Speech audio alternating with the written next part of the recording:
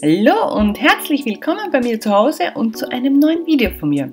Ja, heute sind wir schon wieder in meiner Garage. Und ihr seht, es ist dringend notwendig und ich habe mir gedacht, ich filme euch das mit als kleine Frühlingsmotivation, weil der Frühling, er kann ja, es kann ja nicht mehr lang dauern, dass der Frühling kommt und äh, der Frühling ist ja prädestiniert dafür, dass man irgendwas aufräumt, neu organisiert, äh, irgendwas Neues macht, was renoviert oder keine Ahnung, irgendwas upcycelt oder ja, also bei mir ist das zumindest so. Ich weiß ja nicht, ähm, ob es bei euch auch so ist. Das wäre mal ganz wichtig zu erfahren. Schreibt mir das doch bitte in die Kommentare rein, ob ihr das auch kennt, wenn es draußen wärmer wird, dass man dann so einen Tatendrang hat und irgendetwas machen möchte. Und ähm, ich möchte immer was machen, wo, wo quasi der Effekt relativ groß ist. Deswegen seht ihr ja auch in meinen Putzroutinen, dass vorher immer ausschaut wie so. Ich könnte ja auch Ordnung halten, dann würde es nicht so aussehen. Aber wenn es, wenn es schon vorher ordentlich ist, ja, dann bringt ja das Zusammenrahmen nicht wirklich viel. Also man sieht keinen großen Unterschied. Und das ist das, was bei mir halt so ist. Deswegen tue ich, wenn ich ähm, wenn ich meine Putzroutinen mache, das schaut immer vorher aus wie so, weil ich den ganzen Tag alles hinstellen und hinstellen lasse und eigentlich nichts mache und dann räume ich es weg, weil dann habe ich einen schönen Vorher-Nachher-Effekt. Also so bin halt ich gestrickt. Ne? Ich weiß nicht, ob das normal ist, aber ich finde es halt immer sehr witzig. Es gibt jede Menge Putzroutinen auf YouTube, wo ich mir denke, die Hitten ist vorher schon sauber. Ja? Die nimmt vielleicht zwei Pullover, legt sie in den Kasten rein oder räumt ein bisschen Spielzeug weg vom Kind und dann macht sie noch einen Einkaufshaul. Aber ich finde das halt nicht so prickelnd, wenn es davor schon schön ist. Ja? Es, man muss doch einen Unterschied sehen. Also bei mir ist das zumindest so, dann, dann werde ich motiviert. Und Motivation ist genau das, was ich heute wieder für euch habe. Hoffe ich zumindest, ja. Weil auch wenn ihr jetzt kein Haus mit Garage habt, habt ihr eine Wohnung, vielleicht mit einem Kellerabteil, vielleicht mit einer Abstellkammer. Ja? Vielleicht habt ihr auch einfach nur einen Schrank oder ein paar Laden, die ausgemistet gehören oder vielleicht das Auto. Das wäre bei mir übrigens auch notwendig, aber naja. Ja? Also, ihr habt, ich bin mir überzeugt davon, jeder hat irgendwo ein Eckchen, ja? das heißt die Garage, die Gartenhütte, das Kellerabteil, der Abstellkammer oder einfach nur so ein Kasten, der vielleicht auch ein bisschen aufgeräumt gehört. Also es ist jetzt nicht so, dass ich die Garage komplett auf links drehe und jedes Kastel ausräume und neu einsortiere und keine Ahnung, Schraufeln sortiere oder so. Nein, das, das mache ich nicht, weil das ist wieder so, ein, bei uns sagt man Hocken für wen der Vater und Mutter erschlagen hat. Ja, also eine Arbeit für jemand, der Vater und Mutter erschlagen hat, um es in Hochdeutsch zu formulieren. Ja, das mache ich nicht. Ja. Das ist ja auch immerhin das äh, Hoheitsgebiet eigentlich von meinem Mann. Und wenn er Schrauferl sortieren will, dann muss er das leider selber tun. Ja. Ich tue nur grob da herinnen, dass man halt wieder durchgehen kann, weil ihr seht, da steht so viel Dreck rum und, und, und klumpert rum, ja, was, was eben ähm, für den Flohmarkt gehört, weggehaut gehört, weggeräumt gehört, ein, einsortiert gehört und, und, und, und. Deswegen habe ich mir gedacht, ich nehme euch da heute mit.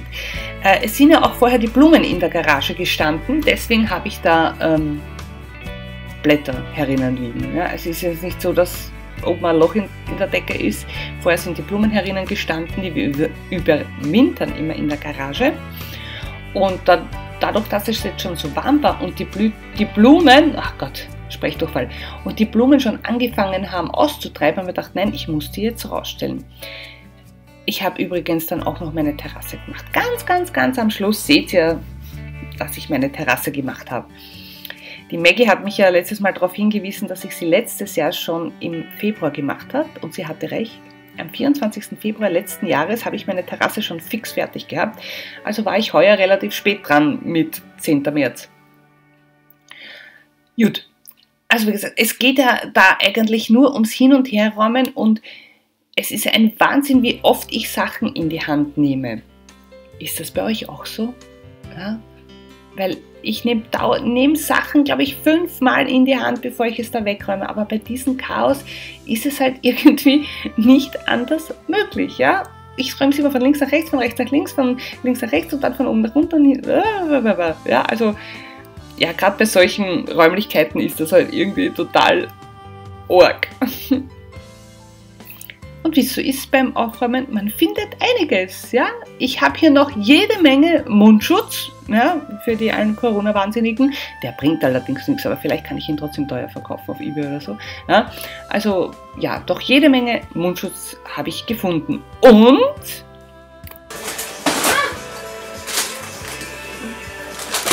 ich habe die Haken gefunden. Die suche ich schon seit zwei Monaten. Ja, vielleicht könnt ihr euch erinnern, ich habe ja in der Küche diese eine Stange neben den Geschirrspüler montiert und da gehören eben diese Haken dazu. Und ich wusste, ich habe sie gekauft, ich wusste aber nicht mehr, wo ich sie hingelegt habe. Ich dachte mir, dass ich sie in der Garage irgendwo habe, aber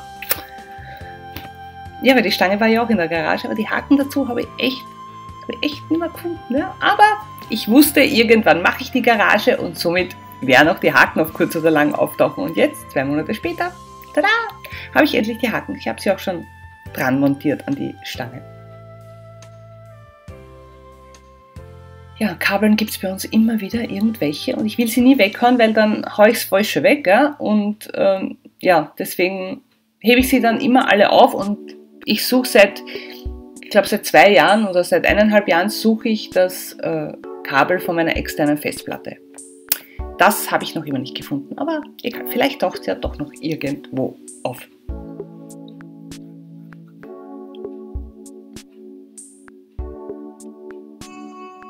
Ja, da in diesem Köpfchen wieder ein paar Kabelbinder. Meine Freunde, ihr wisst, Kabelbinder sind, sind eines meiner besten Freunde. Ich finde Kabelbinder einfach super. Ja, mit denen kann man so richtig so, so fast alles fixieren. Ja, und am meisten stehe ich eh deppert rum und weiß nicht, was ich als nächstes tun soll. Ja? Diese schwarze Kiste da, das ist kein Sarg, ja? das ist so eine Bühnenkiste. Also da hat mein Mann seinen Musikklumper drinnen für seine Auftritte und ja, die steht da total geschissen. Ja, ich ich komme da nicht vorbei, ja, wurschtel mich da jedes Mal durch, haben wir auch schon in der Level aufgerissen, weil ich hängen geblieben bin. Ich schieb's aber nicht weg. Ich meine, ich schieb sie jetzt dann bald weg, ja, aber die steht auch seit Herbst steht die da drinnen. Ja? Und ihr braucht es nicht glauben, wie oft ich mich da da stessen habe, wenn ich da durchgegangen bin. Ja? Also, ja, und das war es mir dann zu viel. Vor allem, es ist eben ein bisschen wärmer gewesen an diesem Tag. In der Garage war es trotzdem saukalt, aber hat ja keine Heizung. Aber draußen war es recht warm. Und wie schon vorher eingangs erwähnt, wenn es denn wärmer wird, bin ich immer ein bisschen motiviert, alles Mögliche zu tun. Da gehe ich meinem Mann auch dann so richtig am Sack. Ja, so, naja, äh, soll man vielleicht die Terrasse streichen und ich möchte das Haus streichen? Also, also nicht das Wohnhaus, sondern das, das Gartenhaus. Ja. Und er, naja, na, das ist so viel Hocken. Wurscht, egal, ich es mit meiner Freundin. Ja. Wozu hat man Freunde? Ähm, und das muss man jetzt erst abschleifen. Das ist ja ein Holzhaus, ja, muss man jetzt erst abschleifen und muss man streichen, weil ich möchte das Häuschen gern weiß-grau streichen. Ja? Also hell, ganz, ganz hellgrau und ein bisschen mittelgrau. Aber ich glaube, das habe ich euch eh entweder in Instagram oder im letzten Video habe ich es euch erzählt. Ich weiß es nicht mehr. Auf jeden Fall möchte ich das streichen. Die Terrasse an sich gehört gestrichen. Weil mein Mann hat auch gemeint, wie ich fertig war mit allem, warum hast du die Möbel rausgestellt? Wir müssen ja noch die Terrasse streichen. Ja, aber da muss es ein bisschen wärmer werden. Ne? Da muss es konstant so 20 Grad herum haben, damit ich das ordentlich abkerchen kann und äh, streichen kann. Und dann habe ich gedacht, na wurscht, dann räume ich halt die Garage, äh, die Garage, die Terrasse einfach wieder ab. Ja, ist zwar die doppelte Hocken, aber ich habe ja Zeit. Ne? Arbeite ja nur halbtags und das von zu Hause aus. Ja, und da wäre ich dann immer ganz unrund. Ja. Ich habe auch, wie ich meine Blumen rausgestellt habe, festgestellt, zwei haben es nicht überlebt. Ja. Da brauche ich jetzt neue. Ja. Also muss ich in der Sekunde zum Bella Flora fahren oder zu irgendeinem anderen Markt, wo ich Blumen kriege, ja, weil ich dann immer ganz nervös bin. Und möchte dann immer alles auf einmal und gleich machen. Und das Lustige ist, ich habe die Garage gemacht, dafür schaut es im Haus aus wie Sau. Ja, weil ich dann natürlich nicht dazu komme, dass ich dann eine normale Putzroutine mache. Da stelle ich dann alles immer nur hin, ja, sammelt sich wieder alles an und irgendwie schaut es aus, als hätte der Bomben eingeschlagen. Aber das ist Stoff für ein neues Video. Ne? Also, nächstes Video ist auch schon gesaved. Ja, das ist wie gesagt dieses. Es soll ein Motivationsvideo sein für euch, dass ihr irgendetwas auch entrümpelt oder umräumt, herrichtet und und und, haben wir ja überlegt, dass ich so eine kleine Spring-Serie mache, ja, so eine Frühlings-Motivationsserie. Aber dann habe ich Teil 1, vielleicht läuft es gut und ich habe dann auch noch Teil 2. Ja, und dann mache ich schon wieder was anderes. Ja. Ich kann nicht sehr lang auf eine Sache konzentriert sein. Und dann fällt mir was anderes ein und denkt man, nein, das wäre vielleicht auch ein Video und dann passt schon wieder nicht mehr dazu. Also ist es inoffiziell Spring Serie, Spring Motivation Teil 1, Part 1. Ja, inoffiziell. Und schauen wir mal, ob wir noch mehr kriegen. Ja, weil wenn es da wieder warm wird, habe ich ja auch wieder meine Gartenroutine zu machen ich werde noch in Stress kommen. Ja. Mir wird auch dann schön langsam warm. Habe ich jede Menge so Kochbücher, so kleine und das kommt eben alles für einen, für einen Flohmarkt. Ich möchte dann nächste oder übernächste Woche eher vielleicht am Flohmarkt fahren und drückt mir die Daumen, dass ich den ganzen Scheiß loswerde. Ja, ich habe da ein bisschen gewarnt von den Jungs drinnen, äh, eben einen ganzen Arsch voll Papa-Sachen. Immer noch. Und ja, was weiß ich, was eigentlich alles drinnen ist. Ja, ich habe es zwar eingeräumt, aber ja, keine Ahnung. Und ich weiß auch nicht, ob sich das Quant von den Jungs am Flohmarkt gut verkaufen wird, ja, weil. Ja, und wer sieht, da hinten im Eck steht auch ein Schlagzeug. Also wer ein Schlagzeug braucht, meldet euch bitte bei mir. Ich habe eines. Äh, mit ganz, ganz viele Trommeln, zwei Bassdrums oder wie das heißt, ja, und ja. Wer es braucht, bitte meldet euch. Ich habe eins zu verkaufen.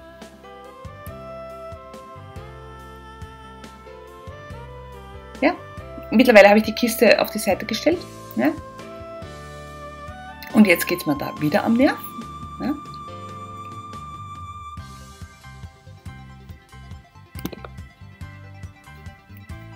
Aber egal, da habe ich eine ganze Kiste voll Häkel- und Stricknadeln. Ich meine, ihr wisst ja, wer mich auf Instagram verfolgt, weiß, dass ich äh, nähe, häkel und stricke.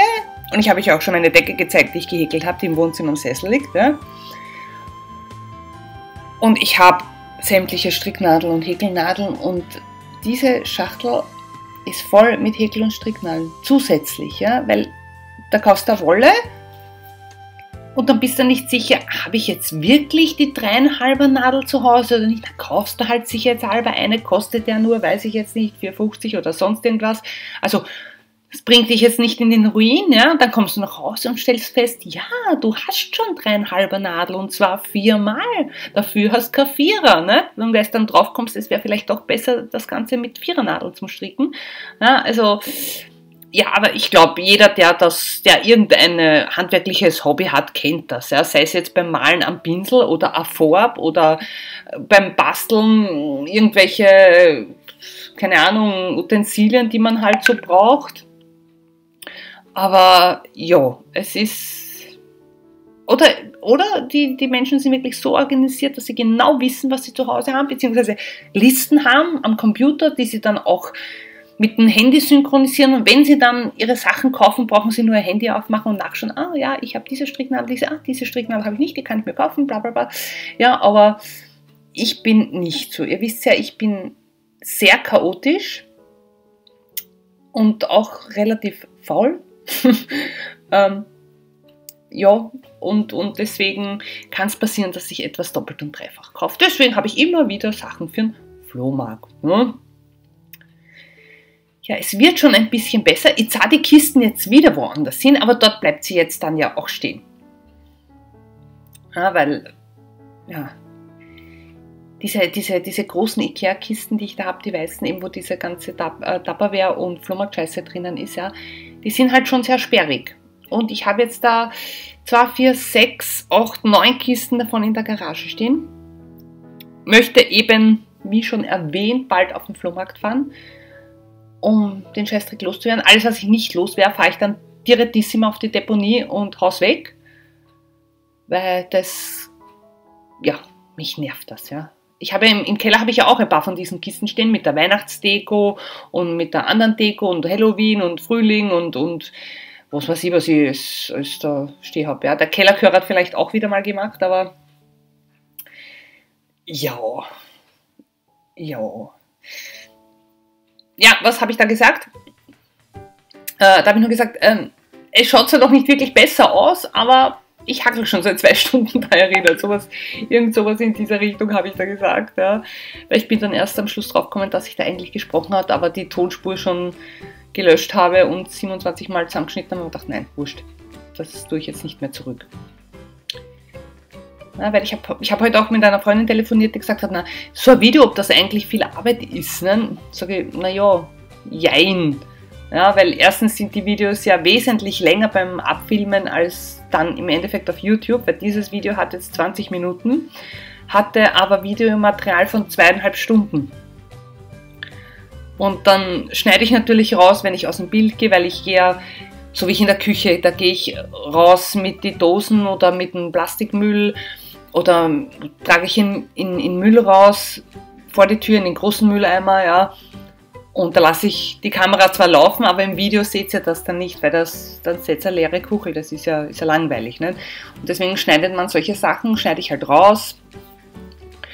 Oder keine Ahnung, wenn ich dann, wenn das Telefon läutet und ich telefoniere, solche Sachen schneidet man raus. Ja, und, noch, und natürlich äh, macht man auch die Geschwindigkeit schneller. Also da habe ich jetzt 300% Geschwindigkeit, also dreimal so schnell, als es in Wirklichkeit ist. Also habe ich in normaler Länge würde das Video jetzt genau eine Stunde dauern und es ist aber trotzdem zusammengeschnitten. Ja, zweieinhalb, zweieinhalb Stunden oder drei, ja, weiß ich nicht. Ich glaube, zweieinhalb Stunden hatte ich Bildmaterial. Ja, damit ihr das auch einmal wisst. Und dann muss man es natürlich noch äh, besprechen. Der Voice-Over, das, was, das Geblubbere, was ihr hört. Und bisschen und die Fotos einfügen von vorher und die Instagram-Seite einfügen und, und ähm, den, die Überblendung zwischen den Szenen und vielleicht noch eine Musik. Ja, und das dauert halt dann immer ein bisschen, je nachdem wie lang das Video ist, aber das Zusammenschneiden und Voice-Overn kann auch schon einmal zwei, drei Stunden in Anspruch nehmen. Und deswegen ist es ja auch bei mir so, ich ich stelle die Kamera hin und mache. Und ich finde es zwar super, wenn ich die Kamera dann auch in einen anderen Winkel habe, aber ich vergesse meistens drauf. Ja, dann denke ich mir, na, wurscht, machst du es das nächste Mal, machst du es bei der nächsten Einstellung, bei der nächsten Einstellung und dann vergesse ich es. Aber ich weiß, dass es besser ausschaut, wenn man die Kamera auch einmal, keine Ahnung, in den Eiskasten stellt und was einräumt oder so. Aber ich bin ja noch am Anfang meiner YouTube-Karriere ja, und habe aber noch einen anderen Job und noch andere Sachen zu tun. Wenn ich nur mehr von YouTube leben kann, so in 17 Jahren, dann mache ich auch super, super Videos mit 37 Kameraeinstellungen, weil da kann ich mir dann auch zwei Kameras leisten, die ich überall hinstellen kann oder drei und schneide es dann zusammen, das wird er dann nur mehr hocken. Naja, wie auch immer. Ja, ich bin schon im Endspurt. Ich tue schon saugen. Aufbaust noch die Garage nicht. Und ganz am Schluss habe ich euch schon gesagt, seht ihr auch noch meine Terrasse, die ich äh, gemacht habe. Und ja, zweieinhalb, drei Stunden ungefähr habe ich gebraucht für die Garage und es ist jetzt nicht super ordentlich und deep clean, aber es ist wesentlich besser. Ich bedanke mich auf jeden Fall jetzt schon einmal fürs Zuschauen. Äh, ich würde mich auch sehr freuen, wenn ihr mir auf Instagram folgen würdet. Den Instagram-Namen habt ihr unten in der Infobox stehen. Äh, meine Sachen, die ich verwende, die sind sowieso immer in der, in der Infobox drinnen. Ja. Und für alle, die neu sind auf meinem Kanal und es ja noch nicht gemacht haben, würde ich mich sehr freuen, wenn ihr mich abonnieren würdet. Dazu einfach unten auf den roten Button klicken und wenn ihr das Glöckchen daneben anstellt, bekommt ihr Benachrichtigungen, wenn ich ein neues Video hochlade, was immer Montag und Donnerstag ist bzw. sein sollte. Und so sieht es jetzt nachher aus. Also wie gesagt, es ist noch immer nicht perfekt, aber ja, da steht diese Scheißkiste von meinem Mann. Ein Mistkübel und da sind die ganzen Boxen. Das gehört alles am Flohmarkt, was hier alles liegt. Das Schlagzeug, wie gesagt. Dazu brauche ich dann wieder das große Auto von meinem Mann. Und das, was hier steht, muss ich auf die Deponie führen. Und da oben, da stehen meine Körbchen für Altglas und daneben die für die Hunde zum Barfen. Und jetzt kommt noch meine Terrasse, die ich dann auch noch schnell gemacht habe, weil es eben so schön war und so warm war. Und jetzt brauche ich dann nur mehr ein paar Blumen. Blumen. Passt. Danke fürs Zuschauen. Wir sehen uns beim nächsten Mal. Bussi, Baba.